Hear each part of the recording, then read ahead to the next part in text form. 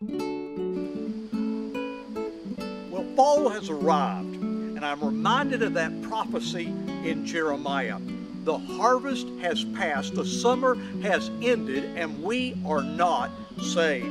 I don't know how many more trips around the sun you have, or I have, or for that matter, this world has. But I am gravely concerned that we have not yet brought in the harvest. The harvest is white, it's ready even now. The problem is not with the harvest, it's with the harvesters. And we are not yet bringing this world to the Lord Jesus Christ, though it desperately needs to be saved. Yes, it's fall. The harvest may be past, in many, many cases, the summer may be over and many may not yet be saved. And that is today's 60 second sermon.